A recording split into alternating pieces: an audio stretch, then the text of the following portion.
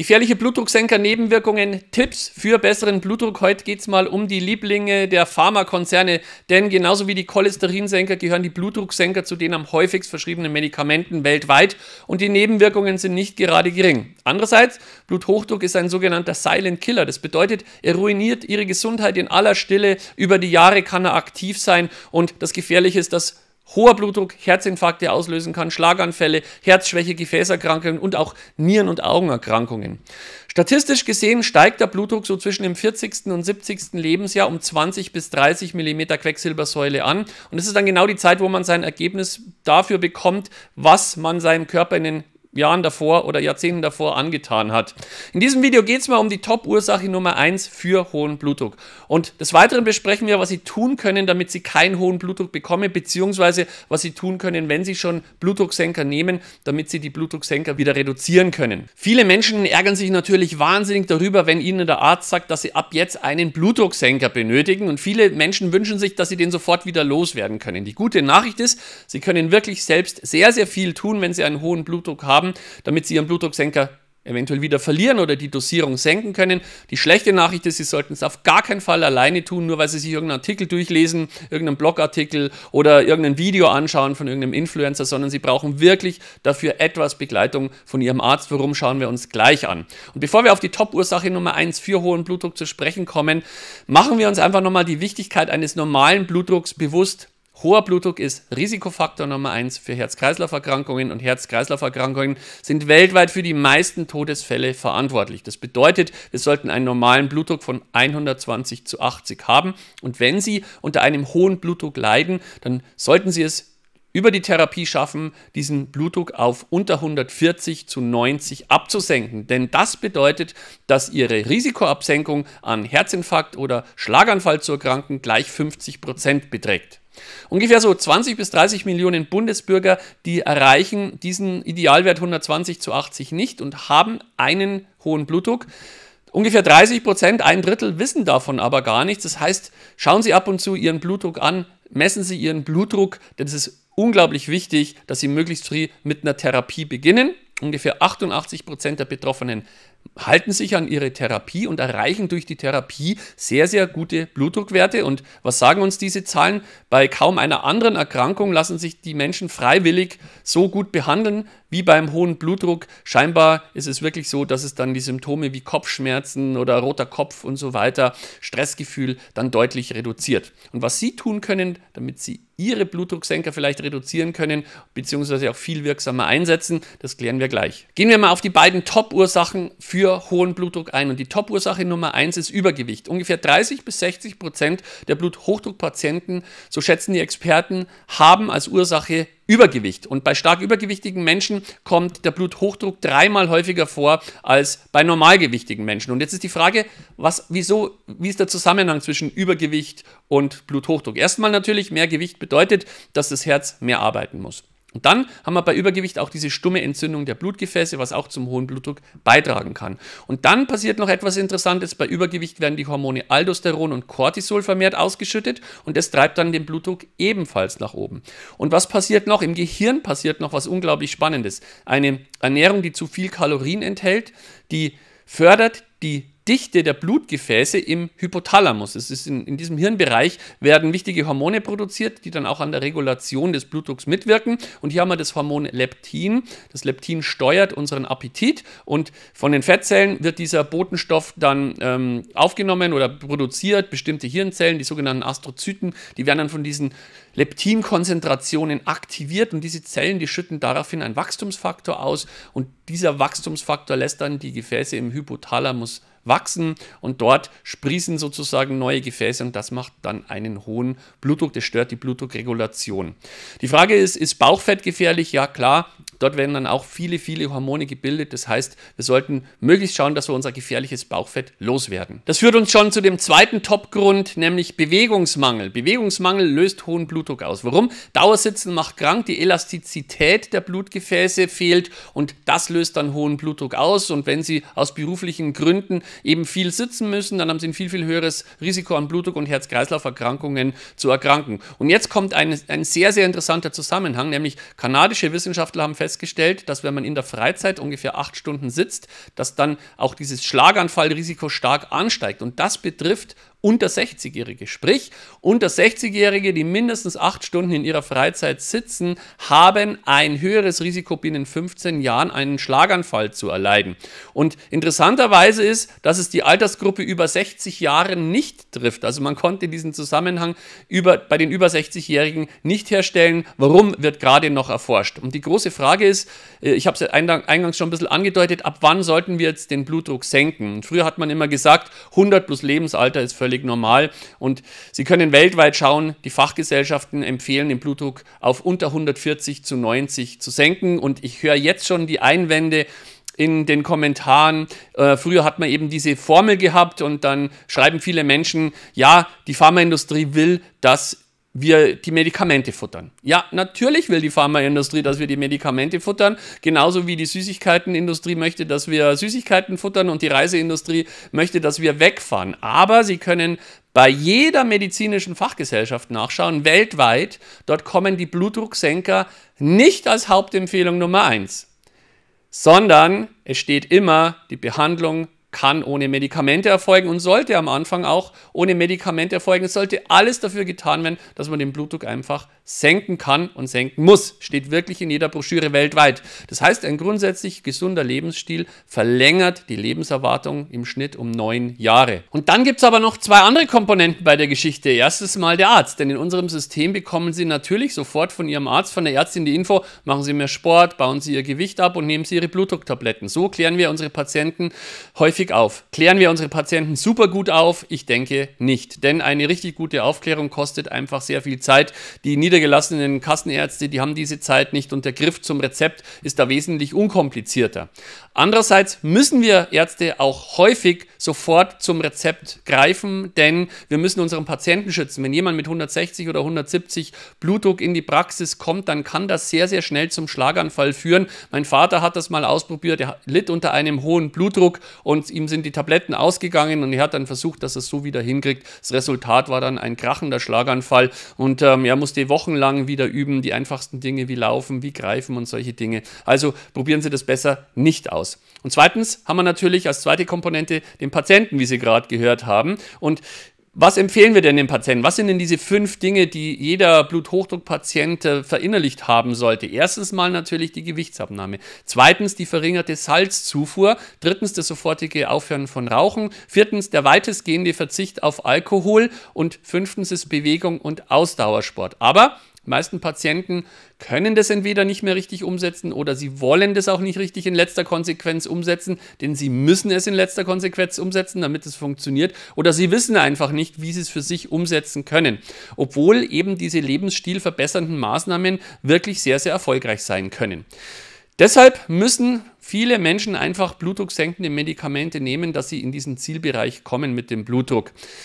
Wann brauche ich denn einen Blutdrucksenker? Wenn ich als Arzt sehe, der Patient ist in Gefahr, dann muss ich ihm einen Blutdrucksenker verschreiben. Es ist dann lebensrettend. Wir gewinnen dann einfach die Zeit, die wir benötigen, um an den anderen Punkten zu arbeiten. Und viele Menschen scheitern schon am ersten Punkt der Gewichtsabnahme. Und sprechen wir mal über die Erfolge. 5 Kilo weniger Körpergewicht senkt den Blutdruck um 5 mm Quecksilbersäule. Und wenn Sie mal in den Buchinger Heilfasten reingehen, ich war vier Jahre lang Fastenarzt, dann haben Sie noch, noch viel, viel bessere Erfolge mit Fasten und der Blutdrucksenkung. Verwenden Sie frische Lebensmittel, viel Salat, viel Gemüse, viel Ballaststoffe, gute Öle verwenden, Olivenöl, Leinöl, die schlechten Fette meiden, gehärtete Fettsäuren, Transfettsäuren, frittiertes Essen und so weiter. Auch der Zucker gehört raus, die Fertiggerichte Gerichte, Snacks und so weiter, all das gehört weg und so eine angestrebte Gewichtsreduktion, die sollte dann langsam erfolgen, damit, sich, damit der Körper da adaptieren kann und Sie sollten hier eine Ernährungsform bevorzugen, nämlich die mediterrane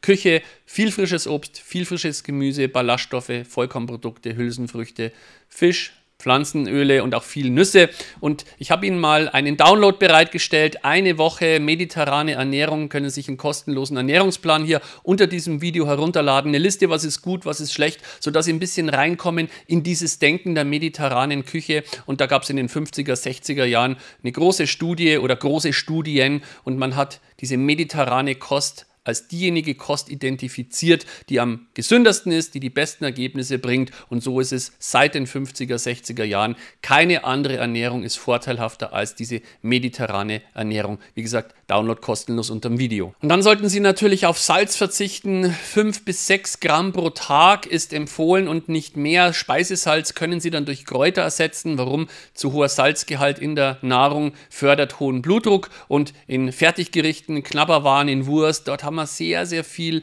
Salz, auch in Brot beispielsweise. Also achten Sie wirklich darauf, dass Sie das Salz reduzieren. Und immer wenn Sie so salzen wollen, dann können Sie einen guten Salzersatz sich suchen. Ziemlich lecker. Da gibt es schon sehr, sehr gute Produkte. Sie auch sofort machen sollten, Rauchstopp, Nikotin weg. Ich weiß, das ist für manche Leute eine große Herausforderung, aber wenn Sie schon unter einem hohen Blutdruck leiden, spätestens dann ist der Moment, wo Sie das Rauchen aufhören sollten. Genauso wie der Verzicht auf Alkohol. Die neuesten Forschungsergebnisse zeigen, so wenig Alkohol wie möglich zu sich nehmen. Auch dieses äh, kategorische Glas Rotwein von früher schützt und so, das steht momentan sehr, sehr schwer auf der Kippe. Und dann kommen wir zum riesengroßen Thema, nämlich Bewegung und Ausdauersport. Und auch hier gibt es Hürden und Hindernisse und ich zeige Ihnen, wie Sie das am besten überwinden können. Lohnt sich denn Sport für uns? Ja, Sport senkt den Blutdruck auch im höheren Alter. Und zwar regelmäßige körperliche Aktivität kann den Blutdruck um bis zu 10 Milligramm Quecksilbersäule verbessern. Und das ist ein sehr, sehr gutes Ergebnis. Das ist vergleichbar mit den Ergebnissen der Medikamente. Das müssen Sie sich auf der Zunge zergehen lassen. Und bevor wir mal auf die Blutdrucksenker zu sprechen kommen, lassen Sie uns noch ein bisschen beim Sport bleiben, denn dort gibt es neue Untersuchungen und das finde ich ist ganz fantastisch, denn abhängig von dem Bereich, wo Sie liegen mit Ihrem Blutdruck, kann man jetzt auf Empfehlungen rückschließen. Das heißt, Menschen mit einem normalen Blutdruck, so unter 130 zu 85 ungefähr, die haben nach den neuesten Auswertungen die besten Ergebnisse beim isometrischen Krafttraining. Das bedeutet, wenn also ihre Muskeln nicht bewegt werden, sondern statisch angespannt werden, ein Beispiel wäre der Unterarmstütz, dann haben diese Menschen mit einem normalen Blutdruck den besten blutdrucksenkenden Effekt. Menschen, die schon über 130 liegen, so bei 130 bis 140 ungefähr, die haben den besten Effekt, wenn sie ein sogenanntes dynamisches Krafttraining machen, beispielsweise Liegestützen absolvieren oder Kniebeugen absolvieren. Und die Menschen, die dann einen höheren Blutdruck haben, über 140 zu 90, die profitieren am besten vom Ausdauertraining. Also ich finde, das ist sehr, sehr interessant, diese neuen Erkenntnisse. Wichtig ist, dass Sie, wenn Sie so ein Krafttraining machen, dass Sie ähm, die Luft nicht anhalten und nicht pressen. Das ist also sehr, sehr wichtig und es ist auch wichtig, dass Sie es im Prinzip fast alle zwei Tage machen, denn ähnlich wie so ein Blutdruckmedikament hält dieser Sporteffekt nur eine gewisse Zeit vor. Welche Bewegung oder welcher Sport ist empfehlenswert, um den Blutdruck zu senken? Erstmal natürlich die Bewegung, die Sie mögen, den Sport, den Sie vielleicht von früher kennen, der Ihnen Spaß macht, den Sie ohne Luftnot, ohne Schmerzen in der Brust und ohne Schmerzen ausüben können, der in ihren Arbeitsalltag passt. Und ich war im gleichen Dilemma wahrscheinlich wie Sie und ich erzähle Ihnen gleich, wie ich das Thema Sport und Bewegung in meinen Arbeitsalltag als Arzt eingebaut habe und umsetzen konnte. Und viele Patienten kopieren das mittlerweile schon nach. Welche Sportarten sind gut? Wenn Sie jetzt ähm, einen noch relativ geringen Blutdruck haben, 130, 140, dann können Sie wirklich Walking machen, Joggen, zum Skilanglauf gehen, Radfahren, Schwimmen. Also all diese Ausdauersportarten, die sind sehr, sehr gut. Sie können auch ein dynamisches Krafttraining machen, bisschen Kniebeugen, Liegestütz, bisschen Gewicht heben. Sollten einfach nur darauf aufpassen, dass Sie nicht zu sehr pressen oder auch Sportspiele mit geringer Belastung, Tischtennis, Golf und so weiter, Billard, Gymnastik, alles gar kein Problem. Sportarten, wenn der Blutdruck schon etwas erhöht ist, der bedingt geeignet ist, ist beispielsweise Tanzen, Reiten, Kegeln, Volleyball, Tennis. Also wenn Sie schon so bei 140, 150 liegen und das Ganze nicht mehr so richtig eingefangen werden kann durch Medikamente, auch Rudern oder Skifahren, das sind dann schon sportliche Belastungen, die man dann vermeiden sollte. Und wirklich verboten bei hohem Blutdruck ist dann Leichtathletik, Sprinten, Springen, Wurftechniken und so weiter oder dann auch Gewichtheben, richtiger richtiges Bodybuilding, Kraftsport oder auch Eishockey, Squash, also alles mit hohen Belastungen, auch Segeln, auch Tauchen, äh, Windsurfen, solche Dinge, wo man dann eventuell auch pressen muss, die Luft anhalten muss und so weiter, ist es wenig geeignet. Und die Frage ist, wie häufig sollten wir Sport machen? Äh, die Basis ist ein sogenanntes Ausdauertraining. Das heißt, ein flottes Gehen beispielsweise, ohne nach Luft zu ringen, das sollten so um die 30 Minuten sein an wirklich fünf Tagen der Woche. Das wäre das Allerbeste. Und dann kann man man natürlich auch diese 30 Minuten erstmal aufteilen in 10 oder in 15 Minuten Abschnitte. Sie können einfach auch langsam beginnen mit ähm, zweimal 5 Minuten, 10 Minuten, zweimal 15 Minuten. Auf jeden Fall so 30 Minuten Basistraining. Und dann sollte man jeden zweiten Tag körperlich aktiv sein. Man sollte sich, ähm, sollte etwas mehr dann noch Sport machen als, diese, als dieses Basistraining, ein mildes Kraftausdauertraining beispielsweise, ähm, wenig Wiederholungen machen, ähm, vielleicht 15 Stück, äh, ohne Pressatmung trainieren, äh, einfach im Rhythmus bleiben und so können Sie Ihre sportliche Aktivität ein bisschen hochfahren. Ich versuche täglich, wirklich täglich eine Stunde mich zu bewegen mit sehr, sehr schnellem Schritt, fast joggen. Wie ich das mache, zeige ich Ihnen gleich. Vor Corona war das halt so, dass viele Menschen die Termine in der Praxis wahrgenommen haben, seit Corona so, dass mehr Menschen Telefontermine benötigen. Und für diesen Zweck habe ich Folgendes gemacht. Ich habe meine Telefontermine am Tag immer gebündelt. Das heißt, ich weiß, ich telefoniere dann eine Stunde oder eine Dreiviertelstunde und ich habe mir einen, einen Stehschreibtisch gekauft, den hatte ich schon. Und unter diesem Stehschreibtisch habe ich mittlerweile ein G-Band. Das heißt, es ist ein, ein zusammenfaltbares Laufband. Das habe ich im Internet beim, übrigens beim anderen Kollegen gesehen.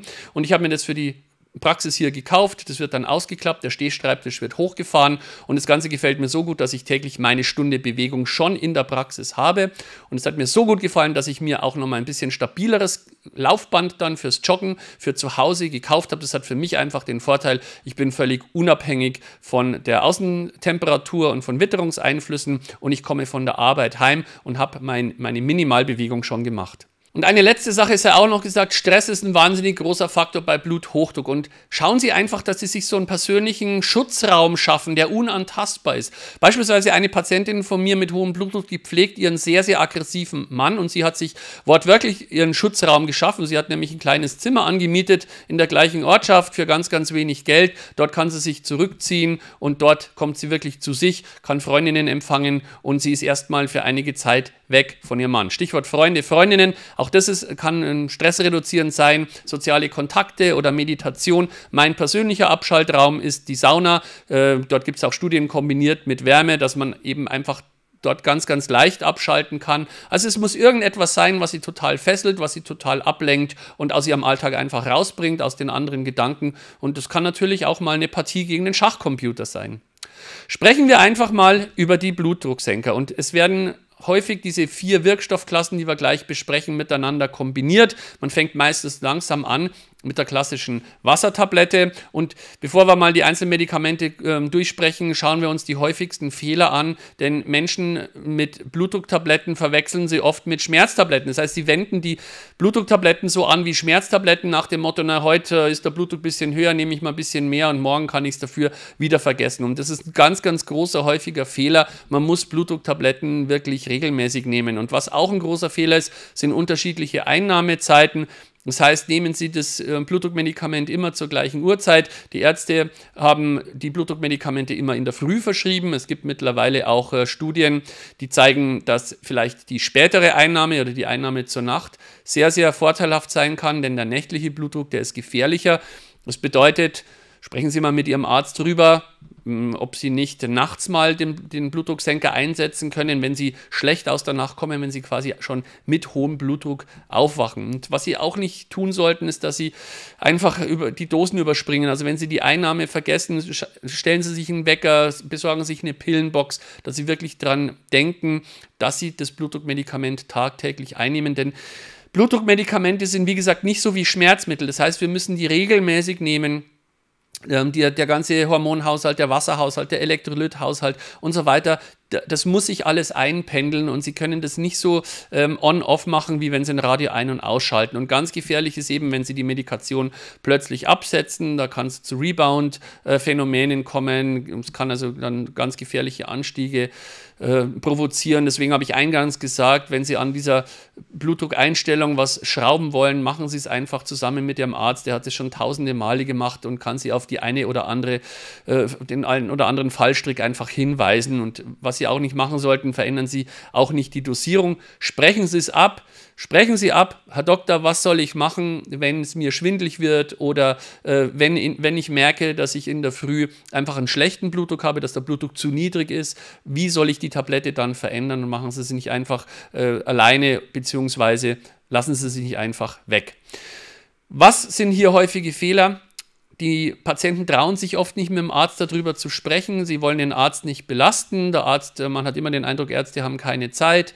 Äh, aber es ist ganz normal bei der Blutdruckeinstellung, genauso wie bei der Einstellung auf die blutzuckersenkenden Medikamente. Die Dinge ändern sich einfach und auch die Dosierung. Das Krankenhaus ist nicht gleich der Haushalt. Ähm, ihre Situation ändert sich. Sie nehmen vielleicht Gewicht zu, sie nehmen Gewicht ab. Also schämen Sie sich nicht, fragen Sie ruhig nach. Und ganz, ganz wichtig ist einfach die regelmäßige Blutdrucküberwachung. Die Dosierung ähm, müssen Sie einhergehend mit dem Befinden verstehen, wie fühle ich mich bei der Dosierung, was, wie verändert sich das bei stressigen Tagen und so weiter und tun Sie mir eingefallen.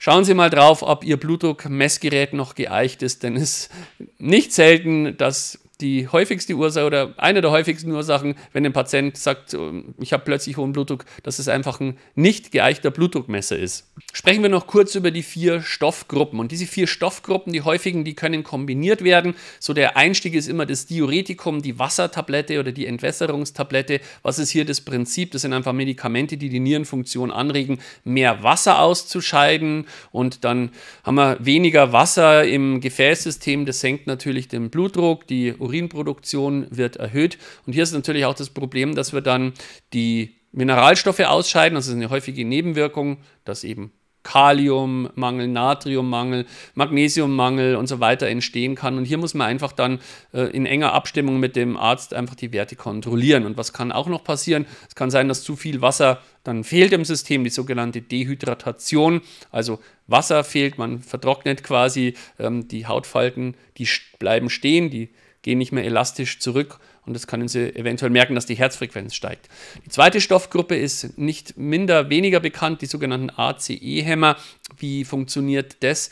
Dort wird die Verringerung oder die Menge an einem Stoff, der gebildet wird, verringert. Es verringert sich die Menge an dem gebildeten sogenannten Aldosteron. Und dieses Aldosteron, die führt zu einer Natrium- und Wasserretention in der Niere, was dann zu einem erhöhten Blutdruck führt. Und wenn wir das also blockieren, wenn wir diesen Mechanismus hemmen, dann wird quasi das Natrium und das Wasser eher wieder ausgeschieden und nicht so viel Natrium und Wasser rückresorbiert in der Niere. Und das führt dann dazu, dass sich der Blutdruck im Prinzip verändert oder verringert. Und die wichtigste Nebenwirkung ist hier dieser gefürchtete ACE-Hämmer Husten, also ein ganz komischer, trockener Reizhusten. Die Leute leiden darunter über Wochen, eventuell sogar Monate und wissen nicht, dass es das Blutdruckmedikament ist und was auch noch sein kann, dass der Kaliumspiegel sehr, sehr stark ansteigt. Und dann haben wir noch die sogenannten Sartane, die sogenannten Angiotensin-Rezeptorblocker und die machen eine Blockade von dem sogenannten Angiotensin-Rezeptor. Das heißt, wenn man diesen Rezeptor blockiert,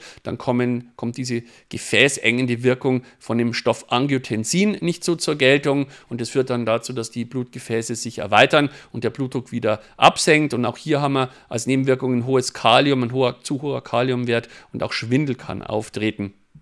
Und Calciumkanalblocker, die vierte Stoffgruppe, die sehr, sehr häufig verschrieben wird, ähm, die steuern im Prinzip den Calcium oder blockieren den Calcium-Einstrom in die Muskelzellen der Blutgefäße. Die Muskelzellen haben also, äh, die, die, die, Blutgefäße haben ganz bestimmte Muskelzellen und die kann man dann ähm, ja, künstlich erschlaffen lassen, sodass also auch hier nicht mehr so viel Druck aufgebaut werden kann im System. Und hier ist eine häufige Nebenwirkung, Schwellungen an Knöcheln und Füßen und wenn da noch in Kombination mit einer Wassertablette Seite ähm, ja, haben Sie vielleicht auch in der Verwandtschaft schon mal mitgekriegt, dass hier häufig eben Knöcheln und, und Füße anschwellen und dass die Menschen dann unter diesen Nebenwirkungen leiden, ebenso wie Schwindel und Kopfschmerzen.